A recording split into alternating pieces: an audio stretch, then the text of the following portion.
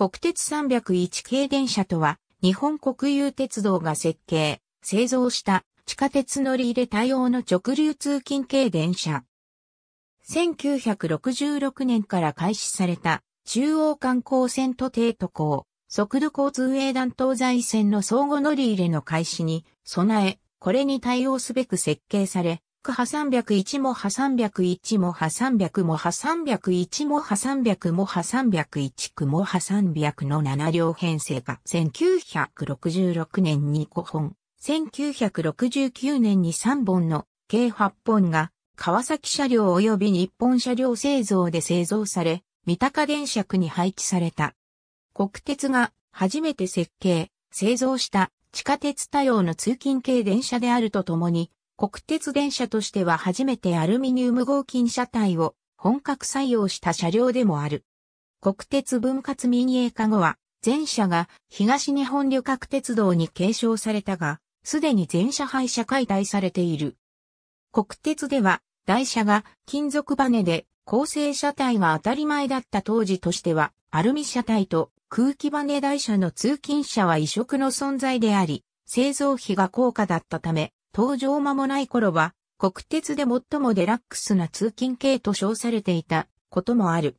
103系を踏襲し、片側に4箇所の 1300mm 幅両開きドアを備え、ドア間に7人、車端部に3人掛けのロングシートがそれぞれ並ぶ、当時の国鉄通勤系電車の標準に従う。ただし、本系列では、車両メーカーである川崎車両の提案により、国鉄初のアルミ合金製車体が採用された。この車体のアルミ合金製構え体部分は、同時期に製造された、英断5000系アルミ車と共通設計であった。このため、製造担当は、アルミ合金製車体の製造実績がある企業に限られることとなり、1962年製造の山陽電気鉄道2000系を皮切りに、アルミニウム合金車体の電車の製造ノウハウを蓄積しつつあった川崎車両と、やはり1963年製造の北陸鉄道6010系以降アルミ製車両の製造実績を重ねつつあった日本車両製造の2社が選定された。製造時の段階では鉄道車両に適した7000系アルミニウム合金がすでに実用化されており、本系列の車体は、アルミ製車体製造技術第一世代の完成型と言うべき設計となり、103系と比較して、各社5から6トン程度の自重軽減が実現した。アルミ車体の採用に伴い、その加工の困難さから窓枠に別組み立てのユニット窓が採用された。雨どいの高さも車体を洗浄する際の利便性を排除し、103、系より若干高く、後に登場する201系と同等となっている。これは、アルミ合金製車体は耐食性が高いが、その反面鉄粉などの異種金属の付着による酸化には弱く、対応策として頻繁かつ徹底した洗車作業の実施が求められたために、一回の洗車で確実に外反の汚れを除去するための重要な変更点であった。側面方向膜はなく、構え体改造の困難さから、後年の改造でも取り付けられなかった。また、原型となった103系では、主電動機冷却風取り入れ口を電動車の側面に片側2箇所備えるが、本系列では設置されていない。全消灯が従来の前面上部中央に白熱灯一灯を設置する方式から前方視認性や英断との協定から通勤型では、初となるシールドビーム2灯を双下に振り分けて設置する方式に変更されたことも特徴である。これによって表示器が従来の2つからに3つに増えている。内訳は中央が種別及び行き先表示、左は運行番号表示、右は後の分割民営化後を含めて常にコーポレートマークを掲出していた。なお、これらの表示幕は汚れがひどく、1998年に運行番号表示を LED 式に交換した。合成値は下記のようになっており、国鉄101系電車と比較すると曲げ、ねじりとも半分程度の値となっている。駆動方式は103系と同一の MT55 主電動機を搭載し、波数比6.07の中空軸平行、カルダン駆動方式を採用した。主制御機については103系の CS20 をベースに、高加速によるスリップの防止対策が施された CS20 バイトを搭載。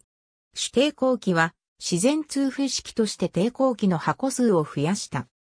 これは強制送風式の場合ブロアファンの音が大きく、乗り入れ先の地下船内で騒音問題となりかねなかったことに配慮したものであるが、自然通風式は抵抗器が限られた床下面積を大きく占有し、しかもその周囲のエアフローに対する配慮も求められるためその偽装は難しく、状況によっては抵抗器溶断事故を引き起こすことが少なからずあった。DT34 型台車台車は国鉄の在来線向け量産通勤系電車としては初のダイレクトマウント式空気バネ台車となる DT34TR204 型を装着しており、103系の DT33TR201 型と比較して乗り心地が大幅に改善された。この台車は165系などに採用された体型審査らしキンダイレクトマウント式空気バネ、台車である DT32 型を基本として開発されたものであるが、軸箱にオイルダンパを装着せず、ベローズ式空気バネを車体直結として、ボルスタンカーを付加したため、気候面では大きく異なったものである。同時にダイレクトマウント化に伴い揺れ枕吊りが省略され、横領部分の構造が大きく変更されたため、DT33 と比較して軸距が 2100mm に縮小されたが、主電動機や波数比が103系と共通のため、動輪径 910mm、付随輪径 860mm の関係は変わらない。空気バネ台車とした理由は、車体が軽量化されているために、車体の揺れを軽減させるためでもある。東西線地下区間の河川は、合体河川であるため、パンタグラフは PS16 型をベースに終電船部分に小型のバネを追加して終電船自体を不動構造とした PS21 型を採用した。運転台のマスコンハンドルは英断5000系と同様の跳ね上げでドマン式とした。地下鉄での使用に際し、火災事故防止のために1957年に制定された車両構造仕様 AA 様式に従い発火防止、不燃化、乗客の避難対策などが盛り込まれている。先頭部に非常用貫通扉を設置しているのが最も大きな特徴で、これにより103系の前面窓ガラスを上型に向かって傾斜を付け内側にくぼませる方式が採用できず、301系では貫通扉左右の窓を車体外方に向かって内側にくぼませる方式とした。客室の上段加工下段上昇ユニット窓は、地下船内での怪我防止のために、上段窓は全開するが、下段窓は 75mm しか開かない構造とした。また地下船内での換気効率向上から、屋根上通風機は換気調節ができる角型、押し込み式が採用された。本系列は、当時の国鉄通勤型としては最先端な車両であったが、試作的要素が多く製造コストが非常に高かったこと、アルミ合金製車体の問題から他の車両メーカーが参入できないことにより1969年で製造は打ち切られ、それ以降の増備については103系1200番台へ移行した。当初は電動車比率が高く設定され、MT-6M1T の7両編成を構成していた。乗り入れ先の英断5000系に編成を合わせたため、MC の雲波300型が起こされているのが特徴である。後の重量編成への組み替えに伴い、電動車の伝送解除や制御車の運転台設備撤去などの改造が行われている。登場時はアルミ金属地にクリアラッカーを塗布し、側面窓上に中央、総部観光線のラインカラーである交代の放浪式、アルミテープを巻くというものであったが、第5編成の製造を担当した日本車両の提案で、側面装下にも帯を巻いて登場したことから、川崎車両が製造をした第1から4編成も順次追加された。また、銀色一色であった前面も、保線作業員から電車の接近がわかりにくくて、危険との指摘があったため、全面装化全体に交代が巻かれた。しかし、アルミテープには剥がれやすい欠点があったため、後に増備した第6から8編成は、英断車と同様に樹脂製の板をビスで留める方式に変更され、先の5編成も順次それに合わせた塗装に変更している。また、アルミの表面が次第にくすんできたことや、表面保護のために塗布したラッカーにひび割れが発生したことから、1978年になって、車体全体を103系1200番台と同様のライトグレーに塗装する工事が実施された。ただし、駅の放送や案内板などでは、英断5000系が銀色だったこともあり、銀色の電車という案内が行われていた。しかし1989年に中央、総武観光船の地上用として205系がステンレス地に交代で登場し、これを東西線への直通電車と間違える乗客に、誤乗防止の観点から全車体色を東西線のラインカラーであるスカイブルーに変更された。同時に駅の放送や案内板も銀色に青帯の電車に変更されている。また1987年4月1日の国鉄分割民営化後は、ジュニアマークをラインカラーで塗りつぶし、代わりに白色の巨大な JR マークを両先頭車の側面装下に重複するという同線の103系線200番台と同様の措置が取られたほか、本系列の特徴でもあった正面の伝承式ジュニアマークはガラス裏面からプリントを剥がされた後、外側に黒文字の JR マークが重複された。1989年には冷房搭載改造が施行された。改造費節約及びアルミ車体であることを考慮し、車体補強が不要な au712 系集約分散式冷房装置が2機搭載された。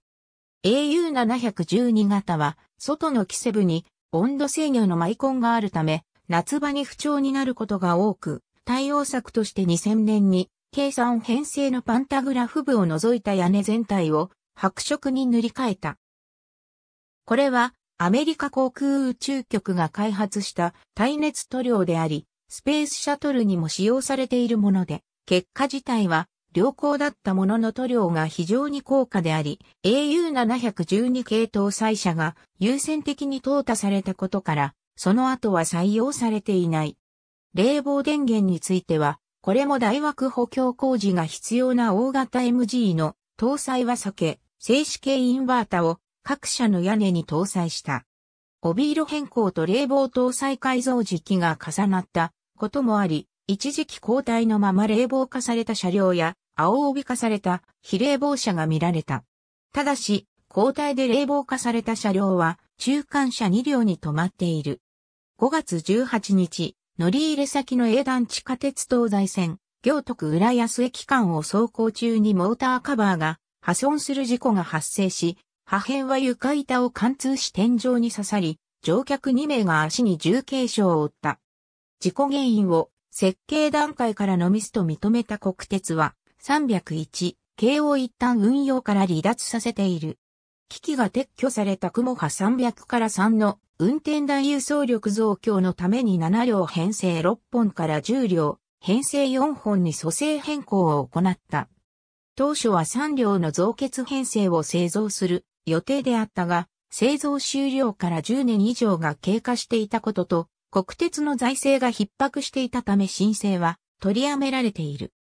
組み替えは7両編成2本を3両編成に短縮の上、別の7両編成2本にそれぞれを連結して7プラス3の10両編成2本を蘇生し、その際に捻出された中間車をさらに別の7両編成2本に増結して10両貫通編成2本を蘇生するという複雑なもので、校舎用にも波301から4も波300から3が伝送解除されて、差波301から101.102となった。余剰となった2両も波301から11も波300から8は予備車となり、通常は9車となった。また編成の中間封じ込めとなる、区波301から1.3と区も波300から1.3の4両は、運転機器が撤去され、メーター類には、蓋がされ、全面窓ガラスを含めてすべて灰色に塗りつぶされる、などの改造が行われた。なお、この編成組み替えは301系のみに施行されている。12月1日ダイヤ改正での東西線、完全重量化により、7両編成で残存していた301系2本と103系5本系7本も、すべて重量編成に組み替えられることとなった。301系は1本から抜き取った MM ユニット2両に、サハ301型をもう一方の編成に増結するという方法が取られた。そのためもハ300から9を伝送解除し、サハ301の103に改造している。これによりモハ300から9のユニット相手であるモハ301から13は走行不能となったが他の車両に致命的な事故があった時の緊急予備車として残された。なお、前回の組み替え時に旧車扱いとなっていたモハ301から11モハ300から8は運用復帰している。103系1200番台との根結編成301系103系1200番台並結編成2002年8月28日西船橋駅301系と103系1200番台それぞれで余った5両同士で5プラス5の重量編成が蘇生され、初の根結編成が出現した。編成番号は分割を考慮して103系1200番台が計9 301系が計10と分けられていた。この編成は301系が空気バネ台車、通常制御機、103系1200番台が金属バネ台車、超多段制御機であることから来る乗り心地の差や性能の差があるため、英断乗務員からの評判はかなり悪かったという。この編成は両方の戦闘車に連結用のフォローをつけていたため、編成組み替えの自由度が確保されていた。従来からの重量編成この組み替えに合わせて1981年組み替えの編成内容が7プラス3は5プラス5に、重量貫通は付随車の連結位置を8号車から6号車に変更され、すべての編成が5両編成2本に分割できるようになった。1990年から1992年にかけて、計10編成と編成から外れていた、モハ301から13を除いた全車に以下に示す、更新工事を施行。音位工場施行の103系線点1200番台には、座席端部のパイプの中に、仕切り板が設置されたが、土崎工場など他工場で、更新施行された本系列には未設置となった。301系は1990年に従来115系が保持していた国鉄 JR 新性能電車における単一系列の登場より初廃車発生までの最長記録23年を更新している。これは営業区間に踏切が一箇所もないため、踏切事故が発生しなかったこと、少量生産、特殊用途系列で他地域への転属もなかったこと、等によるものであるが、これ以降は諸問題により廃車が進行していくことになった。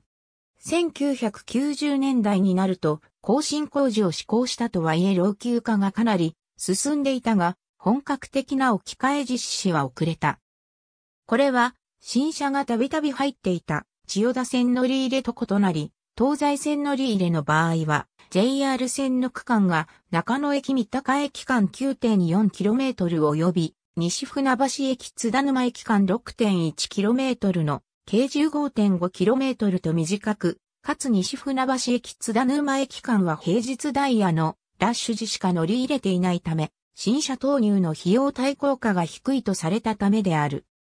しかし、もはや本系列自体がすでに時代遅れの電車であり、故障が増えてきた上に、抵抗制御車は構造上熱を大量に発生させるために、地下区間での長期運用は、環境、車両ともに悪影響が大きく、継続使用が困難になりつつあった。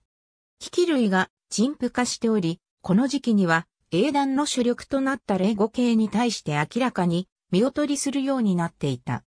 301系とほぼ同時期に製造された英断5000系も一部編成で冷房改造が施行されたが、その再開時点カレージ制御への改造も行われて、改正ブレーキが使用できるようになったため、抵抗制御で損毀された301系との格差は、さらに顕著になっていった。1996年4月27日の東西線と東洋高速鉄道東洋高速線との相互、直通運転開始により JR 車の東西線運用が大幅に削減された。平日は朝夕のみの運用が中心で、日中の運用は2運用のみで、東西線内の快速運用は激減した。さらに、土曜、休日は日中の3運用のみで全て各駅停車、うち1運用は2往復の運行となったため、余剰となった6両が予備車削減政策の一環で、廃車対象になった。対象となったのは前日のモハ301から13と、今月編成の301系、計10編成である。実際は営業離脱後区派301から6も派301から18区も派300から6の3両は、大宮工場で他の廃車予定車と共に留置された末、1997年7月2日に廃車された。残りの3両は三鷹電車区に残留し、1998年1月5日に廃車された。この廃車によって、計10編成と重量編成を蘇生していた103、計1200番台の計9編成型編成の検査時の台車としてのみ使用されることになった。予備車も削減されたことや、東西線直通車は5両ずつ検査を受けるということを利用し、残った5両と計9編成で臨時編成を組んで対処した。最終的に JR 東日本が103系を首都圏から一掃する方針を決定したことや、英断も東西線の ATC を新型に更新することが発表されたことで、残存車も2001年頃から置き換え計画が浮上し、2002年や秋には正式に置き換えが発表された。このため、同年12月1日のダイヤ改正で JR 車の東西線直通運用が削減されると、これに合わせて検査期限の近かった計1編成が廃車となった。さらに、後継車である E231 系800番台が竣工するのと、交代に順次定期運用を離脱してゆき、2003年6月10日の0級、経営運用のうち朝の1往復の営業運転をもって定期運用を終了した。運用終了後は、他線に転属することなく直ちに全車廃車となった。ただし、計4編成は103系1200番台である、計9編成とともに、新車故障時の予備という意味もあって、しばらく保留扱いにされ、廃島に疎開留置の手配が取られた。本系列は、廃車後に、車体のアルミ材をリサイクルする予定となっていたが、具体的なリサイクル状況については公表されなかった。東西線直通運用からの離脱後、廃島に疎開していた計4編成は2003年夏まで車席を有しており、同年8月3日に計4編成を使用して、三鷹駅、高尾駅間で快速、さよなら301系号としてさよなら運転イベントを行った。記念列車は列車番号 9567M で、高尾では301系のほか、E231 系800番台、165系、201形式彩り編成を電流線に留置した上での展示撮影会も行われた。さよなら運転については、当初は定期列車として中央観光線、東西線で運行する計画もあったが、英断との調整がまとまらなかったため、旅客営業運転では最初で最後の中央線、快速での運行となった。塗装の特別な変更など話されず、定期営業運転終了時の青帯にさよならマークを調布して運行された。また、当日には地下鉄東西線直通電車さよなら記念オレンジカードが沿線15駅で販売されたが、発行総数合計4500組限定で当日中に完売した。その後、同年秋に、台紙なしで別デザインではあるが、再び、さよなら301系オレンジカードとして販売された。最後まで残留した計4編成は、翌8月6日に、大宮へ廃車改装され、これをもって301系は、系列、バンダイ区分消滅した。大宮総合車両センターに保管中の雲波300から4系通編成の10号車に組み込まれていた雲波300から4が大宮総合車両センターで保管され残存していた。当初は大宮駅ホーム資金場所に置かれていたが他の保管車両と共に元解体線跡へ移動した。前面方向幕の表示は日焼け予防のため時折変えていた。鉄道博物館への保存候補からは、外れたものの、腐食に強いアルミ車体であったため、保存状態は晩年まで比較的良好であった。解体線跡に移動された後もしばらく保存されていたが、2014年末頃には、大宮総合車両センターの大宮駅より側に移動されたこともあったが、すぐに解体線跡地に戻された。しかし保存車が置かれていた解体線跡も東北、上越新幹線の高架橋体新強化工事を実施することとなり、2017年中に他の保存車であった電気機関車等と同時期に解体されてしまったため、現存する車両はない。なお、2003年5月の大宮工場一般公開で、廃車直後の区波301から7が展示されていたが、こちらもすでに解体された。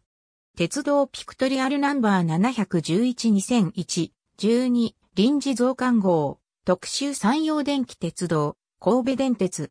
ありがとうございます。